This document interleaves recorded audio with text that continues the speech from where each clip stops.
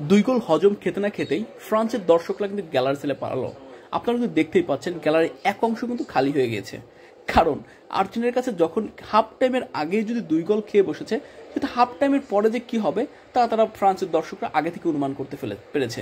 আর এ কারণেই তারা আগে ভাগেই গ্যালারি ছেড়ে চলে গিয়েছে। যদি তারা শেষ পর্যন্ত খেলা দেখে, আর যদি ফ্রান্স যদি হেরেই যায়, তাহলে কিন্তু তারা বিভিন্ন ধরনের ট্রলের শিকার হবে, বিভিন্ন ধরনের কথার শিকার হবে। এই জন্যই তারা খেলা হাফ টাইমের আগেই দেখা যাচ্ছে গ্যালারি ফাঁকা হয়ে গেছে। আসলে ফ্রান্সের জন্য খুবই দুঃখজনক বিষয় এবং আপনারা কিন্তু যারা খেলা দেখছেন, তারা কিন্তু অবশ্যই দেখে থাকবেন যে গ্যালারি একটা অংশ ফাঁকা পড়ে রয়েছে। যেখানে খেলার শুরু থেকেই পুরো গ্যালারি ভরা ছিল। সেখানে কীভাবে গ্যালারিগুলো ফাঁকা হলো? এই মুহূর্তে আর্জেন্টিনা কিন্তু দুই গোল দিয়ে দিয়েছে। ফ্রান্সকে। আর এই ভয়ে ফ্রান্সের দর্শকরা পুরোপুরি গ্যালারি ফাঁকা করে আগে গিয়ে তারা রাস্তা মাপছে।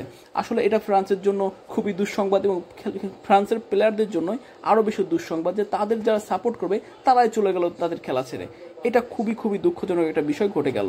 আপনাদের মতামত কি অবশ্যই অবশ্যই কমেন্ট করে জানাবেন। যারা ফ্রান্স এবং আর্জেন্টিনার সমর্থক রয়েছেন, তারা অবশ্যই কমেন্ট করে জানাবেন। ধন্যবাদ সকলকে, সম্পূর্ণ ভিডিওটি দেখার জন্য।